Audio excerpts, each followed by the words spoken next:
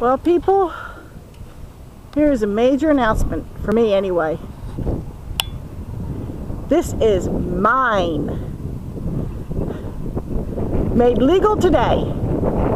Bought, purchased, mine completely. Feels so nice to be independent. Now I just got to recover from the uh, cha-ching out of my pocket but I got a really good deal. Uh, it was my brother's. Uh, couldn't turn it down.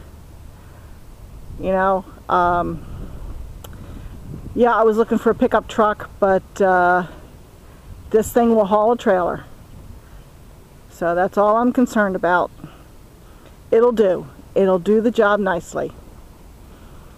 So things have been a little crazy the last week with me with trying to get this taken care of, but uh, now we got now we can get some serious work done. Back at you later.